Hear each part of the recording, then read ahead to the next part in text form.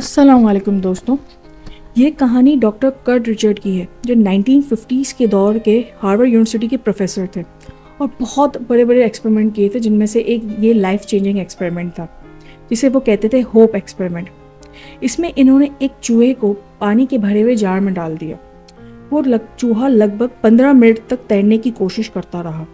पंद्रह मिनट के बाद वो थक हार कर उसने कोशिश करना छोड़ दिया और डूबने लगा। जब वो डूब रहा था तो प्रोफेसर ने उसे बाहर निकाला। बाहर निकाल के रख दिया और कुछ देर आराम करने दिया। उसे खाना खिलाया। उसके कुछ एक दो घंटे बाद फिर से पानी के भरे हुए जार में डाल दिया। इस बार आपको क्या लगता है? वो चूहा कितनी देर तक तैरता रहेगा? पंद्रह मिनट, बीस मिनट, पच्चीस मिनट या पाँच मिनट? आप यकीन नहीं मानेंगे। वो चूहा लगभग साठ घंटे तक तैरने की कोशिश करता रहा।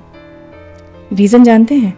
रीज़न ये था दोस्तों कि इस बार उस चूहे को यकीन हो गया था। वो प्रोफेसर एक ना एक बार तो उसे निकालेगा ही बाहर। सो so फ्रेंड्स मुझे इस छोटी सी स्टोरी से एक लेसन मिला कि हम इंसान चूहे जितना भी नहीं समझते, क्योंकि अल्लाह ताला हमें हर बार, हर तकलीफ़, हर मुसीबतों से निकालता है।